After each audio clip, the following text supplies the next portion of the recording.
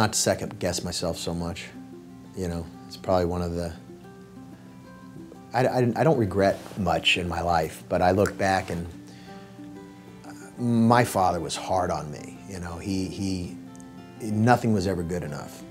And uh, some of his toughness made me tougher, but some of his toughness weakened me, especially at some of my more vulnerable points in life.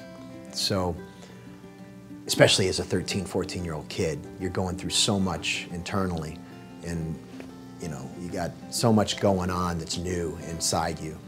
Um, that some of those tough lessons that he thought were just strengthening me sometimes made me second guess who I was. You know, well, my muscles aren't big enough. My dad told me that I was weak. I'm not, I'm, I, am i am not throwing the baseball hard enough because my dad told me it was weak.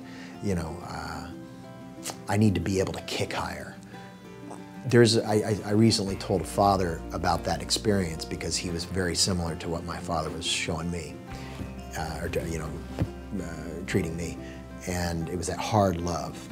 And some dads, especially men, feel like that's the way to go, but you have, it's a fine line. You could be tough with your son or your daughter, but you have to make sure that they see the soft side as well.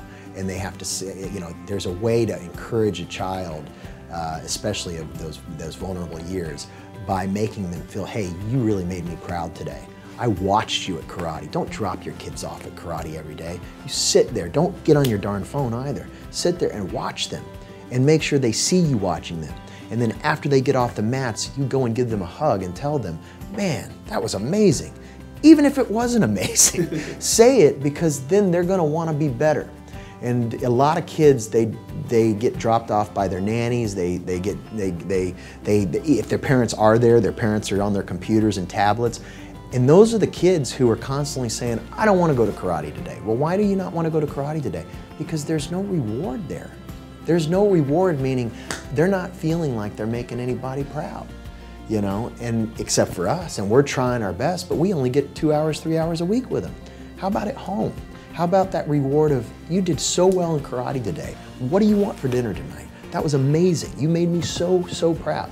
That's important. And so for me, you know, back when I was 14 years old, if I could change one thing, I'd just, I'd believe in myself more than what I did. And I'd, I'd, uh, I wouldn't listen to some of the criticism uh, that I unfortunately went through.